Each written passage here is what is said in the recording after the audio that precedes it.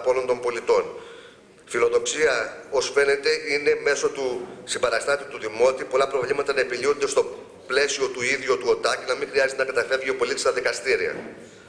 Καθιερώνονται επίσης νέοι θεσμοί συμμετοχής των πολιτών στη διοίκηση μονάδων παροχής υπηρεσιών.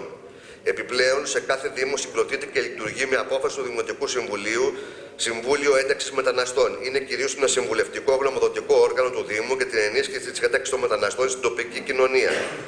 Έργο αυτών των οργάνων είναι η καταγραφή και η διερεύνηση των προβλημάτων που αντιμετωπίζουν οι μετανάστες οι οποίοι κατοικούν μόνιμα στην περιφέρεια του Δήμου.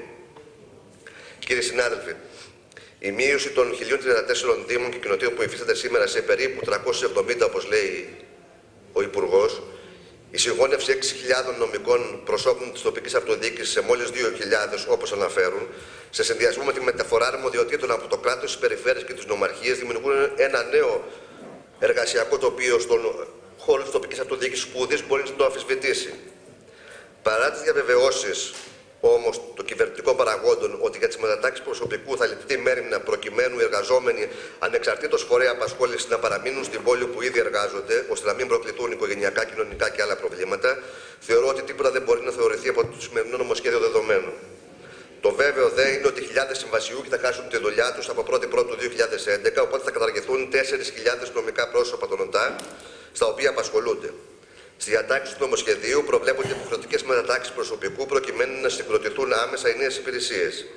Οι μετατάξεις προσωπικού συγκεκριμένων διευθύνσεων θα ακολουθούν την αντίστοιχη, την αντίστοιχη μεταφορά αρμοδιοτήτων από την ομαρχιακή αυτοδιοίκηση στους Δήμους, από την κρατική περιφέρεια στους Δήμους και τις ερετές περιφέρειες. Και θα γίνεται αυτοδίκαια σε αντίστοιχες θέσεις κατά κατηγορία, κλάδο ή ειδικότητα με διατήρηση του μισθολογικού και ασφαλιστικού ή συνταξιδοτικού κεκτημένου.